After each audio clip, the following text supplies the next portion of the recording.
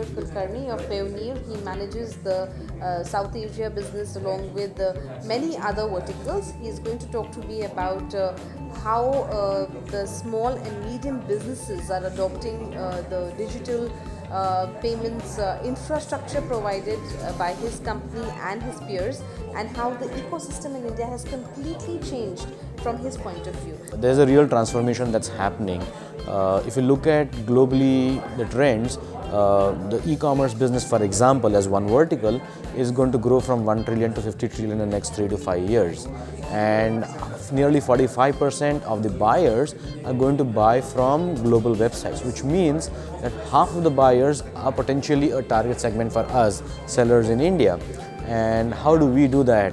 Uh, we, how do we go to new markets? And Payoneer, for example, uh, though we are a cross-border payment company, we really believe that we are at a pedestal where we can help people really chase these markets, uh, get into these markets. And we work with 2,000 plus marketplaces, name, name them, Amazon, Lazada in the East, you talk about Linio or you talk about Cdiscount in France.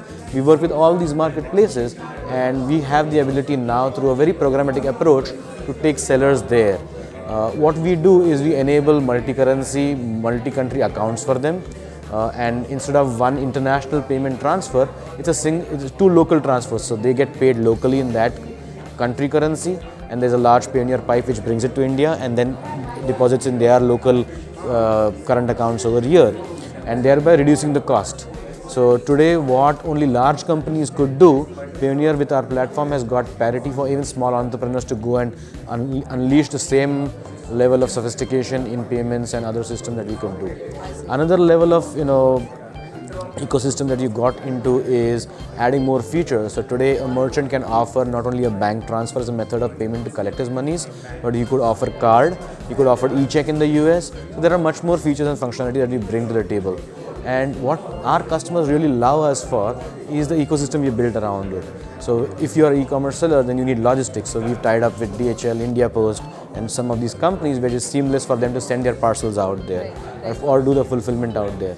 If we talk about you know, entrepreneur, entrepreneurs who are doing software coding, for example, we've tied up with you know Zoho or QuickBooks, where automatically whatever money they get in gets actually mirrored and reflected into their accounting softwares, thereby taking the pain out of the SMB of doing multiple tasks all by himself. Tell Uh, me that yeah. uh, with the SMBs and of course you're a startup, do you feel that uh, there is uh, uh, dominant players like PayPal uh, dominate uh, the bigger share of the pie, and uh, for you to onboard uh, merchants is, is a bigger challenge, and, and how do you look at mitigating this? So, so, so to, to, to, to be fair, uh, PayPal and we are a little different uh, in many ways. There is a little bit of overlap in what we do too.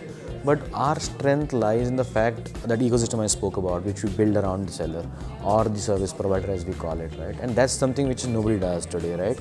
Uh, having tie-ups with 2,000 plus marketplaces globally, uh, and these are you name them: Google, Facebook. Anybody who wants to pay their suppliers, we, they use us. Upwork, uh, Fiverr, and I can keep on adding names. Airbnb. But the fact is that we've been able to kind of build a strong product portfolio with you know tie up with 50 plus banks, a lot of machine learning going into it to be able to really underwrite the customer we approve the customer application in one hour or merchant application in one hour you no and with like seamless all online. So that's something which our strength is.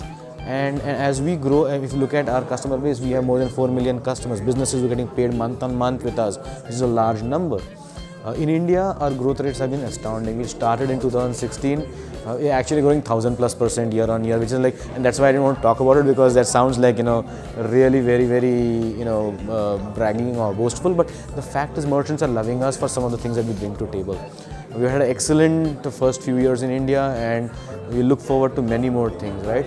Today, when we talk to, we, are also representing some of these with government bodies. So when we go to meet RBI, we take these merchant pains to them and trying to get resolutions.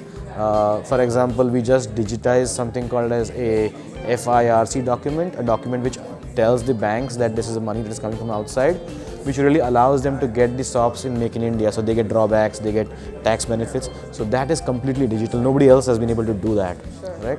So those are some of the things that we bring to the table, and we're really proud of you know the way we kind of you know work backwards from the customer to make it happen for them. Uh, do you think Indian uh, uh, SMBs uh, are accepting digital payments and to what extent?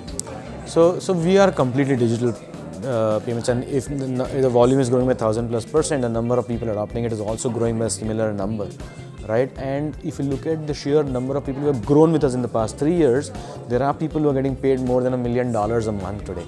And why? Because they they have taken digital in their stride.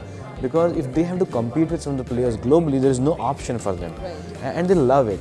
Businesses don't care about uh, friction till the time they know how to solve for it, and there is a greener pasture outside to go after. Businesses are very forward-looking. I've never had somebody tell me I don't want to do this. Uh, it is sometimes frictionful in terms of initial teething issues, but but they are very smart set of individuals. Probably uh, they're not like you know educated in Ivy League colleges, but if I look at their uh, mental quotient or their business acumen, they are super smart people. They understand the value of digitization for sure.